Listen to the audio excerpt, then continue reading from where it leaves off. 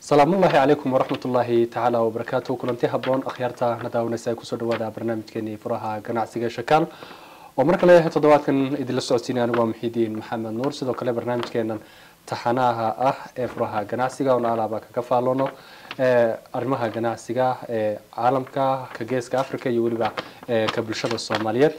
Waxaa mar kale marti noogu ah doctor haybe oo marar badan barnaamijkan nagala qayb qaatay isla mar ahaantaana aan taxane dhaqaalaha islaamka ganacsiga islaamka iyo weliba maxaan ku rahdaa noocyada kala duwan ee ganacsiga islaamiga ah iyo wuxuu ku salaysan yahay aan kaga soo faallooneynay barnaamijyadii hore maantan aan kaga hadli doono ribada waa tihiin. Marka hore aan ku soo dhaweeyo doctor haybe ku soo dhawo shakaal t v. Mar kale aad iyo aad baan kaaga mahad celinaynaa maadaama mar walba nagala qayb qaadatid barnaamijka furaha ganacsiga isla mar ahaantaana halkan aan bulshada ugu gudbino ra'yiyo kala duwan oo arrimaha ganacsiga ah iyo weliba arrimaha dhaqaalaha islaamka si guud ganacsiga islaamkana aan xooga ugu saaro. Kusoo dhawo mahadsantahay maxadiin waan ku dhawa aad iyo aad baad umahadsan tahay. Maanta mawduuca barnaamijkeena wuxuu diiradda saarayaa ribada iyo dhibaatada maxaan ku rahdaa ay bulshada ku leedahay ribadu. Haddeenu bal marka hore u gudubno hordhaca ku saabsan guud ahaan ribadu siday tahay xukunkeeda iyo mowqifka islaamka ama meesha uu iska istaagay qaar ka mid ah adilada ka soo ku soo ururay haddaynu fiirino bal noo soo koob doctor haybe adoo bismi illah alxamdu lilah wsala allahu wasalama calaa rasuuli illah wacalaa aalihi wasaxaabatihi ajmaciin ilaahay baa mahadle subxaanahu watacaala uma mahad alle kadib shakaal iyo muxidiin waa mahadsan yihiin waa barnaamijkeeni taxanahaas aad u sheegtayba ayaynu kaga hadlaynay guud ahaan ganacsiga iyo gaar ahaan dadka muslimiinta inay ganacsigooda ku salayaan islaamka iyo shareecada islaamka maanta waxaynu ka hadlaynaa mawduuc aada u weyn sharciga islaamkana ku weyn ganacsiga iyo waxyaabaha dhaqaalaha guud ahaanna runtii waxaa la yidhaahdo dhib weyn u geystay arrinkaas oo ah ribada oo interestiga waxay dhahaan ama ribadaba. Runtii ribadu markaynu ka hadalno qeexideeda waa erey carabi ah weeye oo luqadda carabeed ka soo jeeda. Ereygaasna asal ahaan waxaa laga yaabaa marar badan inaynu waxaan tacriifinayno ama qeexayno mar walba inaan dhahno ereygu waa carabi. Sababtoo ah ganacsigii baan islaam ku salaynaynaa. Marka mar walba islaamku de wuxuu ku soo degay luqadda. Luqadda carabi ku soo degay. Marka ereyga mar walba asalkiisu halkaasu u laabanaya luqadda carabi u laabanaya. Marka ribo waa erey carabi ah. Asalkeedana waxay ahayd markii carabi ahaan loo eego ama language ahaan loo eego luqadda waa wax la ziyaadiyey. Ama kor waxa la yidhaahdo loo kiciyey dulsaarka. Dulsaar ha hadda dadku haday soomaali dhahaan ribada ribada iska ilaaliya dulsaarta iska ilaaliya dhahaan marka dulsaartiina waa wax un iyadna la siyaadiyey. Dulsaartu waxay noqotaa inta badan ama shaygii baa la ziyaadiyey laftirkiis. Oo shaygii shay ka badan baa meeshii ba baa lagu ziyaadiyey laba shay oo la isku gadayo waan u tegi doonaa qaybaheeda ama shaygiibaa wuxuu dhalay laftirkiisibaa ziyaado kala dhalay isagoo isagi isla isagii ah tusaale lacag baa lacag dhashay. Iyadoon ganacsi kale iyo warwareeg kale aan la gelinin ayay lacag kala dhashay. Marka ziyaadadaasaa baa la yidhaahdaa. Sharciga markii loo imaado ama shareecada islaamka ama qaabka ugu weyn ugu muhiimsan ee lagu qeexo waa waxa la yidhaahdo waa laba shay oo laysku bedelayo oo ribo gasho midkood in la ziyaadiyo. Sidoo kale waxay ku timaadaa midkood inuu dib loo dhigo sidoo kale waxay ku timaadaa in labadii shay ee isku midka ahaa mid ka mida waktigiisii intuu dhaafo. Kadibna la yidhahdo waktigii buu dhaafay ee ziyaadiya. Ama waxaa la yidhahdo soo kordhi oo kalete oo middan hadda bangiyadu inta badan ay sameeyaan oo kalete islaamku ribada runtii mawqif aada u adag ayuu ka istaagay. Oo weliba aayaadka iyo axaadiista ku soo arooray ribada iyo arinkeeda iyo dhibkeeda iyo khatarta ay leedahay. Culimadu wax badan bay gaadhsiiyaan. Aada u tiro badan. Sababtana waxaa weeye islaamku wuxuu ku shaqeeyaa in qofka muslimka ah waa diin shaqo iyo daal. Markaad shaqayso oo daasho ood shaqo qabato shaqadaas aada qabatay iyo daalkaasi wixii u dhigmaabaad helisaa. Laakiin ribadan maxay noqonaysaa? Qofka iska jiifa. Waxa la- oo la leeyahay waxbaa kuusoo waxismay marka mabda'a iyo asalka diinta shareecada loo soo dejiyey ayuuba ka hor imaanayaa. Qofkii inuu shaqeeyo wado wado wixii uu shaqeeyey daalkii uu sameeyey inuu faa'iidadiisii dhadhansado Iyo dhididkiisii oo xalaasha ahaa dhididkiisa inuu xalaasha dhadhamiyo. markuu arko laakiin haddii la yidhahdo qofkii lacag baa meel ku tuuraysaa lacagta baa lacag dhalaysa adoo gurigaaga jooga. Waanu imaan doona waxyaabaha kharibka keenay ayay ayay ayay ka mid tahay. Runtii eh, waxaan maxidiilow aan hordhac ka dhiganaynaa ummadayna daawan doontana aynu xasuusin doonaa aayaad iyo axaadiis kusoo arooray qaar ka mid ahoo aada u yar oo runtii ina tusaya khatarta iyo cajiibnimada iyo sida looga hadlay oo meesha la gaadhsiiyey waxaa ka mid a ilaahay subxaana wa tacaala qowlkiisa uu yidhi aladiina ya'kuluuna aribaa laa yaquumuuna ila kama yaquumu aladii yatakhabatuhu shayطaanu min almas dadka ribada cuna. Ee ribada ka ganacsada. Ee ribada ku agwareega maalinta qiyaamo waxay imaanayaan. Iyaga oo sidii qof jin dardaray oo kaleeto u soconaya. Waa naqaanaa qof jin dardaray sooma ama qof wax ku dhaceen ama qof yar sarqaansan ama qof intuu meelaha saa u marmarayo saa u dhacdhacayo oo kaleeto. Maalinta qiyaamo ee banka qiyaamo la taagan yahay. Dadkii ribada cuni jiray. Waxay imaanayaan iyagoo sidaa u dhacdhacaya sidoo kale ilaahay subxaanahu watacaala baa isla suuraddaas aynu aayadda hore ku sheegnay. Wuxuu ku leeyahay yaa ayuha aladiina aamanuu ittaquu llah kuwii ilaahay iyo nabi nabi nabiga rumeeyeyow. Ittaquu llah ilaahay ka baqa wadaruu maa baqiya min arriba in kuntum muuminiin iskaga taga ribada ribadana ka taga. Ka taga markii la yidhi oo ilaahay subxana watacaala sii daba dhigo wuxuu yidhi fain lam tafcaluu haddiina arrinkaas samaynin oo ribada ina ka tegin oo ribada aan la iska daynin oo ku mucaamilkeeda iyo ku dhaqankeeda aan la iska daynin fa'danuu bixarbin min allahi wa rasuulih waxaad u diyaar garoodaan dagaal. Ilaahay uu la galahayo qofkaas iyo rasuulkiisu ay la gelayaan waxaa isweydiin la yaa ilaahay dagaal la geli kara yaa nabi moxamed sala allahu alayhi wasalam yaa dagaal la geli kara marka waa meel adag waa goodi noocii ugu dambeeyey. Ayay ayay runtii ka dhigantay. Axaadiista ka sugnaatay nabiga sala allahu alayh wasalam inagoo soo kokoobayna oo aada u tira badan yihiin. Markii ribada uu ka sheekeynayay wuxuu yihi nabigu sal ly slam nabigu wuxuu lacnaday aakila riba midka ribada cuno wa muukilahu midka wakiilka u ah wa kaatibahu midka qoraya arinka ribada ay ku jirto. Wa shaahidayhi labada makhraatiga. ah kadibna nabigu sal ly slam wuxuu yidhi hum sawaaun waa isku mid. Qofkii waxaa la yidhaahdo fadhiyey meesha ee qorahayey kii makhraatiga ka ahaa oo heshiiskaasi goobjoogaha ka ahaa kii waxaa la yidhaahdo loo wakiishay barnaamij ribo ku jiro loo wakiishay. Dhammaantood nabigu sal ly slam wuxuu yidhi wuu lacnaday. Lacnadana waxaa la yidhahdaa waa in qofka laga fogeeyo raxmadda ilaahi subxaanahu watacaala naxariistiisa. Laga fogeeyo waxaa axaadiista ka mida ina tusaya oo aadka khatarta u ah inuu nabigu yihi sala allahu alay wasalam ribadu waxay u qaybsantaa saddex iyo toddobaatan qaybood. Saddex iyo toddobaatan qaybood oo ribo a baa jirta. Kadibna wuxuu yidhi aysaruhaa midda ugu fudud. Ribada ugu fudud ee qofku markuu ku dhaco la yidhaahdo ribo weyn kumuusan dhicin. Wax yaroo ribo ah baa ku jirtay in yaroo ribo ah baa ku jirtay. Nabigu sala allahu alay wasalam wuxuu yidhi waxay la dembi tahay. Mithlu an yankixa arajulu umma. Qofka muslimkahe ragga oo hooyadii wax ka dayda. Macnaha qofka muslimkaa oo ragga ah oo hooyadii wax ka dayda iyo waxaa isku dembi ah ribada mideeda ugu yar baa isku dembi ah. Sidoo kale axaadiista nabiga sala allahu alayh wasalam ina tusaya waxaa ka mid a nabigu inuu yihi dirhamu riba. Hal dirham dirham baa waagi hore la dhihi jiray waa lacag la isticmaali jiray laakiin inagu hadda markaynu deegaanka joogno jigjiga joogno bir baan dhahayna. Hal riyaal baynu dhahayna. Hal riyaal baynu dhahayna. Hal riyaal oo ya'kuluhu rajulu qofku uu cunahayo ribaa wahuwa yaclam isagoo og. Hal riyaal oo aada cunto oad og tahay inay ribo tahay ashaddu waxay ka daran tahay oo ka dambi weyn tahay min sittin wa halaathiina zaniya waxay ka dambi badan tahay soddon iyo lix jeer oo qof muslima uu zinaystay. Subxaan qof muslima oo zinaystay soddon iyo lix jeer.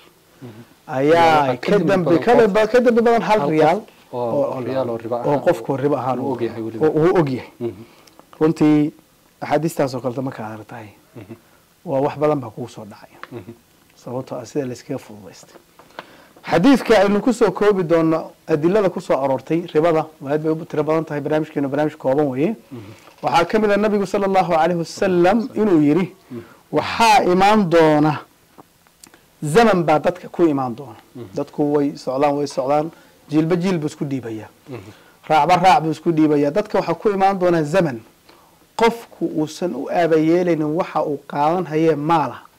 Am min alxalaali am min xaraam. alxaraam uma aabayeelayo talow ma xaaraanba iyo maxalaalba ma xalaalba malaha waxaad moodaa Taa- in had- waqtigaasi hadda maxaan ku rahdaa aad macnaha taas waxaan filayaa hadda waan taagan Ha. waan taagan Aad qofka hadda waxaa la yidhahdaa hadda xilligan la joogayo qofka wuxuu xalaal u yaqaanaa ma wixii gacantiisa soo gala wuxuu xaaraanna wuxuu u yaqaana wuxuu gaari waayo qaarkood qaarkood baa kuu imaano barnaamijka markay isku qaban weyso ayay ku dhahayaan niya waxaasoo xaaraan maaha ka waran buu dhahay moogta hadduu gacanta hadduu maanta- lahaa. gacanta ku dhigi lahaana waxa la yidhaahdo isaga xalaal bay noqon lahayd. Marka xilligaasna nabigu sala allahu alayh wasalam way ku imaan doontaa bay xadiidka ugu dambeeya nabigu sal lla ly slam wuxuu sheegay toddobo dembi oo qofka halaaga. Mhm.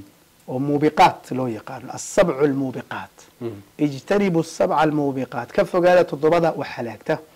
Toddobadaa nabigu sala allahu alay wasalam wuxuu ku daray aklu riba ribada oo la cuno buu ku daray qofku inuu riba cun noqdo oo waxa la yidhaahdo ribaduna waan u tegi doonaa waxyaabahay gashay meelo badan bay gashaa ha dadkeenu keliya waxay ilaaliyaan banki baan u tegayo lacag buu lacag buu intuu i furay buu yidhi lacag dheeraada keen waa cash soo ma halkaasi u fiiriya laakiin waxyaaba tiro badan oo tiro badan oo waxa la yidhaahdo mucaamalaad kale iyo dadku ay sameeyaana oo badan baa ku jira marka intaasaynu ku soo koobaynaa hordhaceen insha allah Eh, doctor aad baad umahadsan tahay hordhaca ku saabsan guud ahaan ee ribada iyo xukunkeeda iyo mowqifka uu- halkuu ka taagan yahay islaamku sida eh, wanaagsan eed noogu faahfaahisay. Eh, bal haddaynu u gudubno noocyada ribada axkaamta eh, ribadu xagga ay gasho iyo qeybaha kale su'aalaha barnaamijkeena. Su'aasha koobaad maxay tahay ribo marka hore? Ribadu waa maxay? Eh, rimo waynu soo qeexnay baan filayaa. Mhm. hordhici baynu ku soo qeexnay. Aad iyo aad waa laba shay oo ribadu gasho oo la isku bedelo oo midkood la badiyo Mhm. ama midkood dib loo dhigo. Noocyadeeda haddaynu u nimaadno Mhm. ama qaybaha ay ribadu leedahay. Si guud labaa loo qaybiyaa ribada ama waxaa la yidhaha dulsaarta. Ribo beeca iyo iibka gasha. Iyo ribo deynta gasha.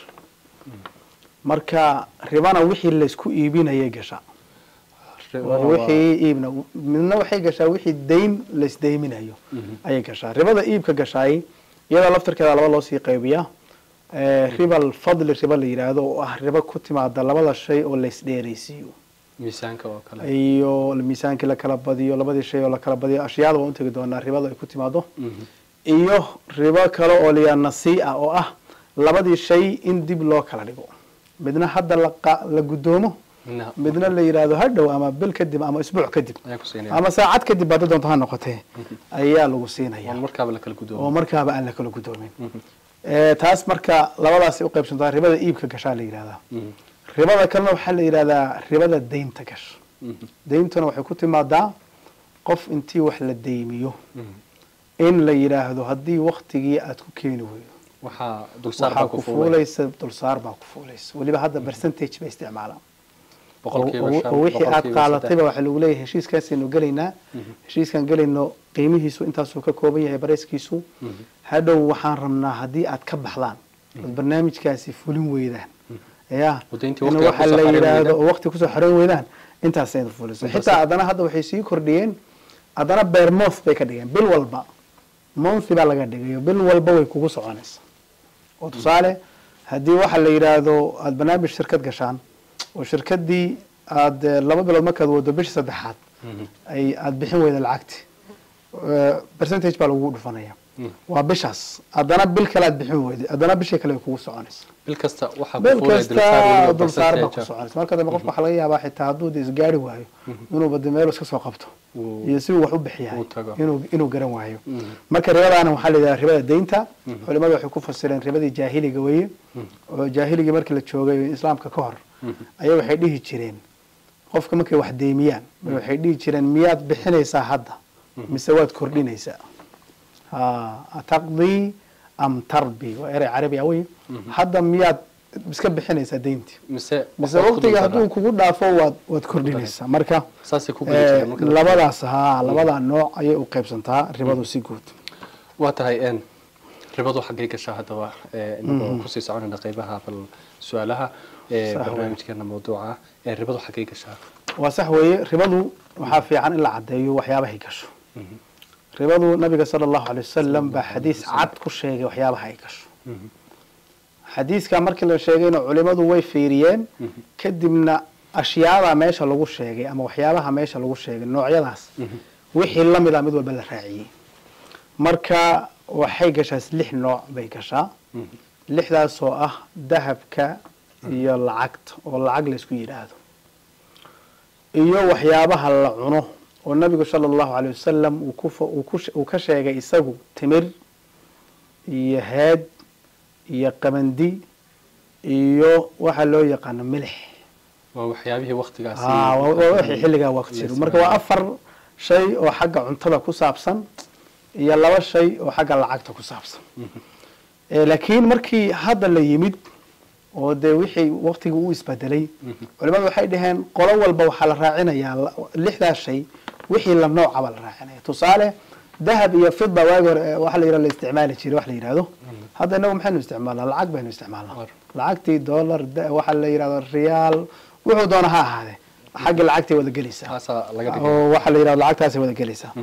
Sidoo kale waxyaabihii la cunayey haddii waagaa timir iyo heed iyo qamandi la cunayey iminka beriis iyo baasto iyo waxa la Ayay yidhahdo wixii la noqonaysaa. midana way la mid noqonaysaa. Marka waxay dhaheen wax walba oo cunto ah oo la quuto oo la kaydsan karo ayay culimada qaar ku fasireen. Marka adugu wixii cunno ana way gelaysaa lacag iyo dahabna way gelaysaa. gelaysaa. Laakiin ma gelayso wax- waxaasi wixii aan ahayn. Markii haddii aan de beeca waxyaabo kaloo khaldaa jira laakiin ribada markaynu ka hadlayno haddii laba gaari laysku bedelayana ma gelayso. Haddii laba diyaarado laysku bedelayana ma gelayso. ashyaada ay gelayso ribadu waa ashyaada cayaan marka ribadu saasay u gashaa su'aashaasi haddaynu ku sii soconno laba qayb laba gruub baan hadda kala sheegnay. Gruub waa cunaan iri gruubna waa lacag soo maha? Gruubka marka qaabkay u gelaysaa waxay gelaysaa gruubyadaasi laba iskugu jiraan labada shay inay isku jinsina yihiin. Hadday isku jinsi yihiin ilaa saddex shardi ama laba shardi baa ugu muhiimsan oo loo eegayaa. Labadaa shardi haddii la helo riba ku jirto laga waayana kuma jirto labada waxaa tusaale dahab iyo dahab baa isku iibinaysa. Laba arrimood baa lagaga baahan yahay. Halkaa markaana in la kala qaato aysan is- islana eg yihiin. Inay isku cabir isku miisaan iyo iyo wax walba haddii la miisaamaya miisaan yihiin haddii la beegayana beeg uu yahay haddii la tirinayana Ay tiro tahay. tusaale kiish bariis iyo kiish bariisa isku iibinaysa. Waa isku jinsi soo ma? Eh, laba arrimood baa lagaa rabaa. Labada kiish inay isla eg yihiin oysan kala badnayn. Iyo in markaa la wada kala qaato. afartan kiilo noqon midna konton kilo kilo noqon laakiin hadday kala duwan yihiin oo tusaale iyagoo cunno isla ah bay haddana kala duwan yihiin. Sida tusaale bariis iyo waxaa la isku beegayaa iyo waxa la bur baa la isku baa la isku gadayaa iyagaa la isku iibinaya. Labadaas hal shard way kala badnaan karaan. Muhiim maaha inay inay isla eg Inay yihiin isla ekaadaan. laakiin maxaa shardi ah in hadda markaa la kala qaato? Inaan waxba dib loo dhigin taasay taasay noqonaysaa. sidoo kale lacagtii iyo dahabkii laba dahab haddii la isku iibinayo waa inay isku marna ay markaana la kala qaato ayna kala badnayn. Laakiin dahab iyo lacag haddii la isku iibinayo way kala badnaan karaan. Oo waxa la yidhaahdo kun dollar ba waxaad ku iibsan kartaa dhowr garaama wax la Intaasoo yidhaahdo. dahab waxay ku- baa iibsan kartaa. Xagga kala badnida way kala badnaan karaan. Laakiin dibdhigii ayaa iyadna meesha ku jiraya. Marka qaabkay u gelaysana waa sidaas. Aad iyo aad baad umahadsan tahay Eh, haddaan ku sii socno qaybaha kale su'aalaha. Axkaamta waxyaabaha ay ribadu gasho. Maxaa ka mid ah? Mhm.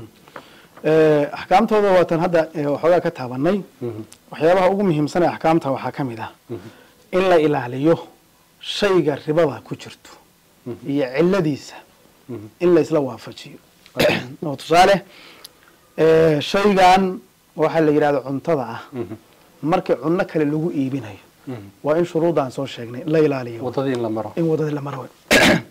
Haddii tusaale ahaan laba kala duwan haddii la isku iibinayana in shardiga ah waxaa la ilaalinaya in waxa la yidhaahdo ay ay markaa la kala qaato laakiin way kala badnaan karaan. Laakiin ka waran labadii gruub haddii la isku iibinayo. Gruubna cunnu ahaa gruubna lacag buu ahaa soo mahin oo dahab iyo lacagti u ahaa. Labada ayaga wax shardi oo loo xidhan yahay. Ma ma jirto. Ah waxaa la yidhaahdo lacag baad ku iibsanaysaa eh, kun doolarba waxaad ku iibsanaysaa. Intaasoo eh, intaasoo inay kala badnaadaanna shardi inay isla ekaadaanna shardi maaha in markaa la kala guddoomana. Shardi shardi maaha. moo lacagta inta hadda bixiso. Baa alaabta waxaa lagu keeni karaa. Dibda lagaga keeni karaa. intaad alaabta qaadato baad lacagta dib ka keeni kartaa marka waa inta axkaamtooda ugu muhiimsan inahaasi noqonaysa waa tahay haddaynu fiirino. Dhibaatada ay bulshada ku leedahay ribadu maxay tahay? Runtii dhibaatadu axaadiistii aanu soo tilmaanay ayaa sheegaya. Laakiin haddaynu dhowr qodob ka tilmaano ribadu dhibaatada ay u geysanayso bulshada gaar ahaan ummadda muslimka. Ah sababtoo dee ummadaha kale iskaba ilaalin mayaan mogta laakiin ummadda muslimkaa iska ilaalinaysa. Mhm. waxaa kow ka ah waxaa meesha ka baxaya cadaaladii bulshanimo. Mhm. Ayaa meesha ka baxaysa. Waxaa kaloo ka baxaya isku dhigmi ay dadku isku dhigmayeen Mhm. ama ay isku dhowaanayeen xagga dhaqaalaha. Mhm. oo meeshii waxaa imaanaysa qof walba oo dee lacag meel dhigtay inay lacag u kororto. Kii aan lacag lahayn muxuu samaynaya meeshaas dhibaata ka imaanaysa. Cadaalad la'aan ayaa ka imaanaysa. Mhm. waxaa kaloo ka mid ah eh, inuu kor u kaco sicirka. Iyo waxa la yidhaahdo faa'iidada dadka la saarayana inay sicirkoodu waxa la yidhaahdo inuu kor u kaco. Oo. sababtoo ah tusaale qofkii lacag buu eh, bangi dhigtay lacag baa u kordhaysa ugu socota ugu socota. Mhm. dadkii wax soo saarahayay mar walbo dadku lacag helaan wixii waa qaaliyoodaa marka dadkii lacag bay heleen oo waxa la faa'iiday ka heleen ribo ah kadibna dadkii wax laga iibsanayay ayaa lagu qaaliyeynaya wixii laga iibsanayay. Qodobkaana waa qodobka ka mid ah. Waxaa ka mid oo kaleete eh, in waxa la yidhahdo khalal ama waxa la yidhaahdo uu ku dhaco eh, deganaan la'aan ay ku dhacdo guud ahaan dhaqaalaha iyo waxa la yidhahdo khayraadka ummadda inuu ku dhaco. Oo waddamada qaarna ay koraan. Wadamada qaarna Ay dhulka ku dhacaan. dhacaan. Ugu dambayntiina waxaad ogaataa mar walba ilaahay subxaana wa tacaala qur'aankiisa markuu ku hadlay wuxuu yidhi yamxaqu allahu riba wayurbi sadaqaat. Ilaahay ribada waa tirtiraa haddii xitaa markaa hore dadku ay u arkaan inay faa'iido ka heleen aakhirka way la go'aysaa iyaga iyagay la go'aysaa wey waxaa meesha ka baxaya tacaawunkii dadka ka dhexeeyey iscaawintii oo dadkii dadka waxa la yidhaahdo dabaqo sare. Iyo dabaqo hoose. Ayay dadkii waxa la yidhaahdo u dhexaynayaan marka eh, dadkii wada maadiyiin in ay waxa la yidhaahdo shay maadi ah oo dhaqaalaha inay arkaan mooyeen iscaawintii kaleete Ayaa iyadna meesha ka baxaysa. Marka inahaasa ugu muhiimsan. Eh, doctor bal haddaynu fiirino dhanka dhaqaalaha ribadu dhibaato intee leeg bay ku leedahay? Maxayse tahay dhibaatada ay ku yeelanayso dhaqaalaha? Mhm, waa idna waa qodob muhiima weeye. Mhm. Eh, waxaa hoos u dhaca ugu horeyntiiba qiimaha lacagta. Mhm. qof walba oo la yidhi lacag baad meel dhigatay haddii lacag haddii lacag loogu daray meesha maxaa hoos u dhacaya? Qiimihii lacagta. Oo waxaa la yidhi cadaankahayd Mhm. ayaa ayaa meesha ka baxaya. Sababtoo ah waxaa ziyaadaya faa'iidooyinka. Sidaa darteed ba hadda bangiyada ribowiga way kacaan haddii la yidhahdo qof walba saddex milyan oo lacag soo dhigatay meesha Mhm. saddexda milyan ba waxaa u fuulaysaa eh, lacag baa u fuulaysa. Eh, dadka ay deyminayaanna in yar bay saaranayaan. Mhm. intii iyo intan udhexaysa faa'iido yar baa uga soo baxaysa. Saa darteed bay kacayaan qof walbana waa ku samaynaya marka dhaqaalaha lacagta oo hoos u dhacda way ku imaataa. Sidoo kaleete eh, dadkii oo dabaqada kore un lagu hayo. Mhm. iyo iyadna dhaqaalaha ahaan ay dhibaatooyinka ay u keento ayaa ka mid a. Waxaa ka mid a in dadku ay shaqaysan waayaan. Ah, dhaqaalihii dadkii shaqaala-aantii inay badato. Sababta u badanaysa waxaa weeye qofku waa inuu u baahdaa inuu shaqeeyaa oo dhib galaa oo hawl galaa oo- dhaqdhaqaaq sameeya. Ah, laakiin markuu ribo raadiyo oo lahoon ribaan raadinaya iyo lacag meel iga korto iyo lacag meelaan dhigto lacagtii laftirkeeda inuu soo qaban waayaa laga yaabo shaqadiina iyadaa ka hor istaagtay marka shaqa la'aanna waqtigiina kaga waqtigiina waa kaga dhumaya meeshaas waa imaanaysaa. Marka runtii dhibaato weyn ayay u geysatay. Saas darteed bay bangiyada ribowiga ee reer galbeedka oo dhan waxay furteen waxa la yidhahdo window islamic bay furteen. Daaqad islaamiga islaamiga qaarkood waxay furteen branchi islaamiga sababtoo ah bangiyada islaamiga hayo wax iibin hayo wax soo iibsan hayo maalgashi samayn hayo oo mashruucyo maalgelinayo waxaasay arkeen. Bangiyada islaamiga gebigoodaba waynu ka hadli doonaayo waxay soo baxeenba toddobaatan iyo shantiiba ugu horreysay kuwan kalena waxay jireen. Quruumo horey jireen. Saa darteed ba bangiyada islaamigaabaa ka hormaray. Marka inahaasa ugu muhiimsan qaybtaas. Waxaan ku sii siqaynaa qaybihii dambe ee gunaanadka barnaamijkeena furaha ganacsiga bal haddaynu fiirino su'aasha ugu dambeysa ee barnaamijkeena doctor anoo kaaga mahad celinaya sida wanaagsan eed barnaamijkan iyo barnaamijyadii horeba noogala soo qeyb qaadatay ee dhanka wax soo saarka bulshada iyo dhaqdhaqaaqa. Ribadu dhibaato intee leeg bay ku leedahay. Runtii dhibaatada ugu weyn bay ku leedahay. Waxaa ka mid ah dhibaatooyinka ay ku leedahay haddaan qodob qodob u sheegno. Waxaa kor u kacaya sicirkii waxyaabaha dadku ay soo saarayeen. Waa tii iminka aynu soo sheegnay oo nidhi haddii faa'iido tiro badan oo bangiga laga helo dadkii wax soo saaray baa lagu qaaliyeynaya. Ila inay mar walbo ay baashu leefalku sii sarnaado. Oo hay galaas meeshu ay noqotahay way sii waxa la yidhaahdo way sii qaaliyoodaa. Waxaa kaloo ka mid ah in waxa la yidhaahdo waxyaabihii soo hadhi lahaa. Oo dadku markay wax soo saaraan waxyaabihii u soo hari lahaa inuu meesha ka baxo.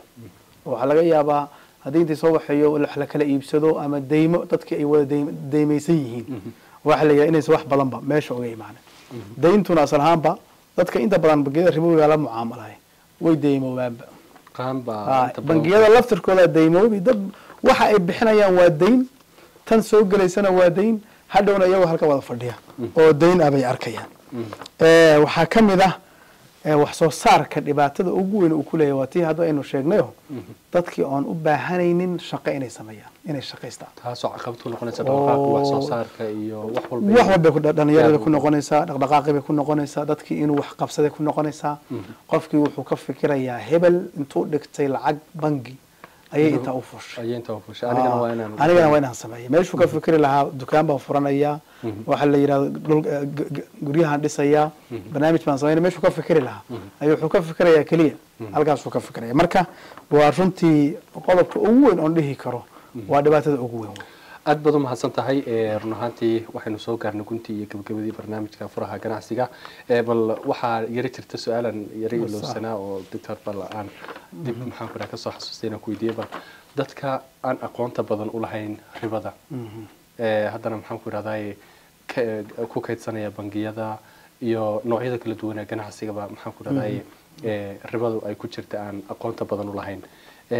Sidee iyagu ay ku heli karaan ganacsi ka madax banaan ribada ama dhaqaale ka madax banaan ribada horta diinteennu waa tii aan ku bilownayo waa diin ku dhisan shaqaysi iyo daal. Kadibna intaa wixii ka soo baxuu qofka helaya markuu shaqaysto. Soomaalida xitaa way dhihi jirtay moogta soomaalidu waa cajiib wey inaan shaqaysanin shaah ma cabe iyo xagla laaban xagla laaban xoolo kuma yimaadaan waa runtood wey waa dhaweyd hadda barnaamij waxaa la waday la leeyahay qofku ha socdo inta tallaabe uu socday buu lacag ku helaya. Mid la leeyahay adoo meel fadhiya dad soo aruuri dadkii baa jaranjaro kuu noqonaya kadibna adna lacag baad sii helaysaa waxaasoo dhan maqsadkii islaamka iyo shareecada wixii loogu talagalay bay ka soo horjeedaan. Dadka markaa waxaanu dhihi lahayn bangiyada ribowiga markii laga hadlo.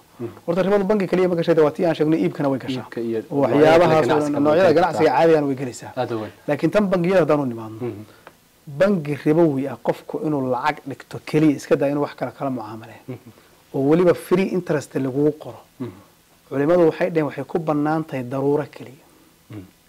Markaad weydo meel kale bangi islaami ana weydo lacagtii ma hayn kartid amaanadeedii iyo xiftinteedii iyadaba dhib kugu noqonaysa malaha waxaan is leeyahay hadda bulshadeenu fursad fiican bay haystaan oo shabeelle bank iyo bankiyada kale islaamiga ee hadda ku soo kordhay guud ahaan etoobiya sax wey hadda waxaa la deegaanka oo kale tama etoobiya guud ahaanba bangiya islaamiga furmay microfinanceyo islaamiga baa jira marka waagi hore haddii lagu meereysan jiray waxa la yidhaahdo bangi islaami ma jiro. Oo. lacagtiina waatan xageen dhignaa xageen geynaa haddii lagu meereysan jiray. Hadda waxaan filayaa taa waa laga baxay. Eh, iska daa in mucaamal kale ala sii gasho inaad lacag dhigato in waxaa la yidhahda lacag kugu shaqeeyaan in barnaamij kale aad ku samaysato in aad investment ku samayso eh, in gawaari iyo maalgelin aad ka qaadato xagga inoo dhig. Inaad dhigato keliya ayaa Waxa waxa la yidhaahdo ayaaba daruuro un keliya keenaysa. Marka dadka aada runtii deegaanka degana waxaan ugu u- u soo jeedin lahaa inay aada uga fiirsadaan barnaamijka ribada. Waxbaa kacaya howlo badan baa dhacaya ganacsi baa kacay dadkii baa lacagtiisi u- waxaysan yihiin. Waxaasoo dhan waxbaa ku dhex jira. Sababtuna waxaa weye marka horena la baran maayo. Marka dambe la samaynayana waa la fududaysanaya hadhowna waxaa imaanaysa qofkii gacmaha ayuu kala taagaya. Mararka qaar mixidiino waxay gaadhaysaa qofku waxyaabaha uu xaaraanta ka sameeyey. In isaga oo jigjiyo kala barhkeed leh in la yidhaha ka dhex baxa iskaga tag. Halkaas. Baa laga yaabaa qofka mararka qaar inay gaadho. Marka waa mahadsantahay aad baa baraka. aad iyo aad baad umahadsan tahay run ahaantii noocyada dhowaan ayaanu ka faahfaahin doonaa barnaamijyada dambe ama mawduucyada dambe aynu soo qaadana aanu ku falanqeyn doonaa habka ay u shaqeeyaan bangiyada islaamiga ah iyo faa'iidadooda iyo waxtarka ay bulshada uleeyihiin ee sida la filayo kolley noocyada ribada iyo maxaan ku dhahdaa inaad wax badan ka fahanteen ayaan jeclahay. Mawduucyadii hore ee barnaamijkeena ku soo qaadanay ee taxanaha ahaa. Barnaamijkan waxaa mar walba idinla socodsiiya anigoo muxidiin maxamed nuur oo soo saaraha barnaamijka. Sidoo kale toddobaadyadii la soo dhaafay mawduucyadii barnaamijkeena ee aadka u quruxda badnaa isla ahaantaana wacyigelinta bulshada iyo faa'iidada ganacsiga dhaqaalaha islaamka iyo qaybaha kala duwan ee ganacsiyada wanaagsan ee islaamiga ah. Waxaa inoo soo diyaariyay isla mar ahaantan inala falanqeynayay doctor haybe. Oo mar walba nagala qayb qaata. Aad iyo aad baan kugu mahad celinaynaa barnaamijkan barnaamijka xiganta ku kulmi doono aniga iyo bahda shakaal oo isku duuban waxaan iskaga tegaynaa sidaas iyo amaana allah